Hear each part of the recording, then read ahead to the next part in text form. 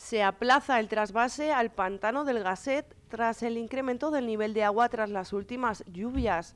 Solo en cuatro días el embalse ciudad realeño ha recibido 3,5 hectómetros cúbicos de agua, pasando de los 10,57 que tenía el pasado jueves a los 14 hectómetros de este lunes.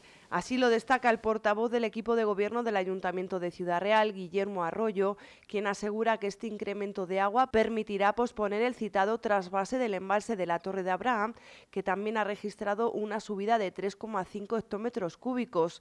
Ha pasado en una semana de tener 16 hectómetros cúbicos a 28,4. El edil también recuerda que seguimos en situación de emergencia por sequía y aunque se aplaza el trasvase y no va a ser necesario utilizar los pozos de emergencia, hace un llamamiento a ser responsables en el uso del agua a la ciudadanía.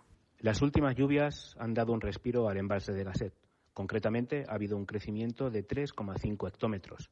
Por lo tanto, esto permite aplazar el trasvase de la Torre de Abraham, la cual también ha tenido un crecimiento exponencial de casi 13 hectómetros.